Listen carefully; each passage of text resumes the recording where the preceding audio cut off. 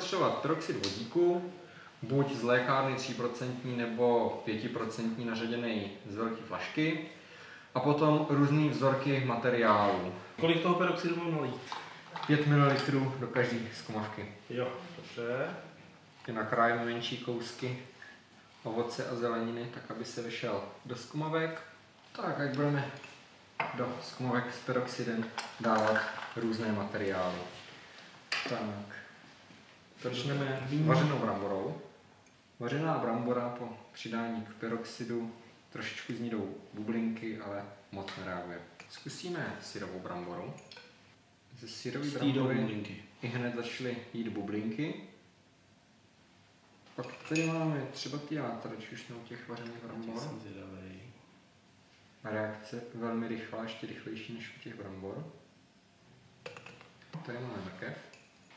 Taky bublá. Mrkev taky šumí, taky rozkládá peroxid. Kiwi.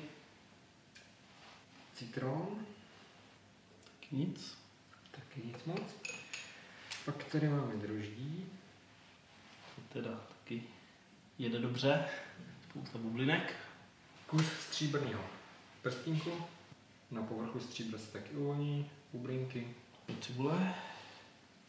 Málo, ale taky bublinky. A pak tady máme rajče. Takže vařená brambora nic nedělá.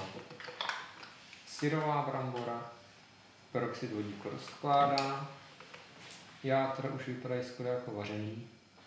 Jak, jak intenzivně reagovali s peroxidem. To jak rozkladu došlo. Mrkev, intenzivní rozklad.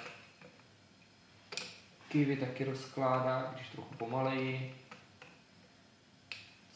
Citron, citron téměř nereaguje.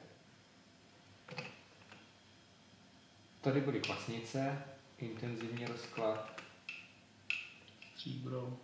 Rozklad. Stříbrný prstínek rozkládá. Cibule taky. Rajče s paprikou taktéž. Co z toho vyplývá, že ve všech živých materiálech jsou nějaké peroxidázy, které reagují s peroxidem vodíku za vzniku kyslíku vody. Takže ty bublinky byl kyslík, je to tak? Přesně tak. Ten si můžeme dokázat pomocí špejle.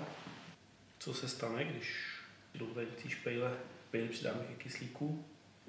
Měla, že kyslík podporuje hoření, tak by ta špejle měla začít dál hořet.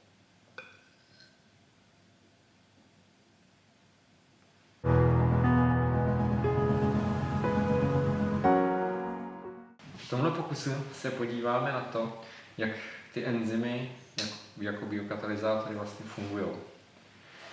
Začneme nejdřív tím, že do třech zkumavek nalijeme peroxid vodíku, Tak to ale o různé koncentraci. Aha. Do první zkumavky přijde 10 ml, do druhé zkumavky tak 2 ml a do třetí dvě kapky. Všechny zkumavky doředíme tak, aby tam byl stejný objem kapaliny. A teď do všech třech najednou hodíme bramboru. Takže 3, 2, 1. To je Teď. A pozorujeme.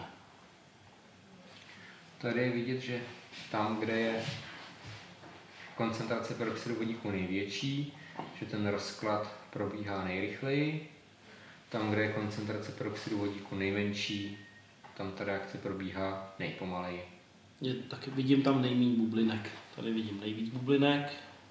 Tady vidím něco mezi tím a tady vidím jenom občas pár nějakou bublinku. Takže takhle bych řekl, že z toho vyplývá, že rychlost reakce závislí na koncentraci reaktantu, v tomto případě substrátu. Dobře, uděláme si druhý pokus. Do obou dáme 2 ml peroxidu vodíku. Do obou zhruba 2 ml, ale tak, aby v obou bylo stejné množství peroxidu vodíku. V první zkumavce ale já ten peroxid zředím, takže množství peroxidu vodíku je stejné, ale koncentrace je tady daleko nižší. Zase tam hodíme dvě stejné brambory. Koukneme, jak to bude vypadat. No tak tady to jde jasně rychleji. Takže opravdu je to záležitost koncentrace a nikoliv množství.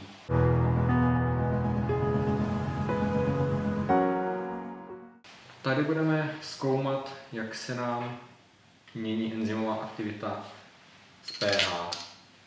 Do jedné zkumovky dáme hydroxid sodný a e, dáme ho tam asi tak čtvrtinu.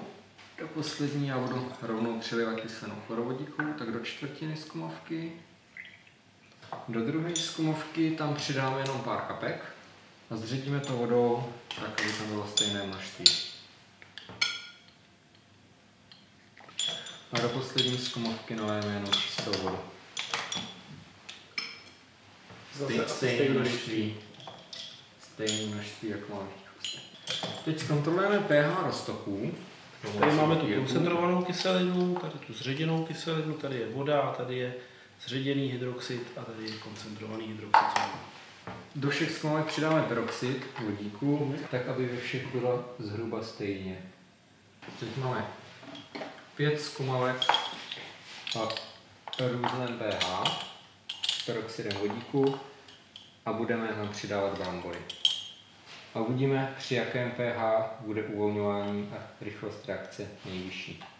Vypadá to, že reakce je nejrychlejší při neutrálním pH, to znamená v prostřední zkumavce, se zředěným hydroxidem tam reakce probíhá docela rychle, se zředěnou kyselinou reakce pro, moc neprobíhá. Má si každý enzym má jakési pH optimum, při které ta reakce probíhá nejrychleji.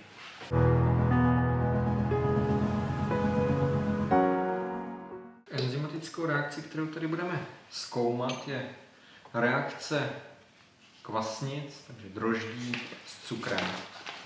Nejdřív si připravíme roztok cukru, sacharózy, stačí tak žička do 100 ml vody a do, do 6 zkumavek si připravíme různé směsi. Do první zkumavky bude 5 ml cukru, do všech ostatních taky 5 ml cukru, jenom do dvojky, kam dáme 5 ml vody. A do trojky já přidám trochu modré, roztoku modré skalice. Do čtyřky, pětky a šestky už nic přidávat nebudeme. Ty budou se jenom inklovat při různých teplotách. A do všech kromě jedničky přidáme trochu droždí. Teď tady připravíme tři různé kádinky. Týhle je led, přidáme do ní vodu. Druhá zkumavka, v ní je horká voda a budeme pod ní topit kahanem. Ve třetí velké kádince si připravíme vodu teplou, tak zhruba jako je teplá ruka. A teď jedničku necháme stát při pokojové teplotě, dvojku necháme stát při pokojové teplotě, trojku necháme stát při pokojové teplotě, čtyřku do vroucí lázně, pětku do zmražený lázně a šestku do lázně, tak akorát teplé. Teď to necháme půl hodiny inkubovat. Už to voní. Tak, tak se podíváme. Do všech zkumovek tykon přilejeme 2 ml 10% hydroxidu. Pak se ke všem přidá roztok modré skalice 1 ml. Tím si vytvoříme vlastně Fellingovo činidlo, tím zjistíme, jak naše kvasnice byly akční. Zkumavky promícháme a hodíme je zpátky do broucí lázně.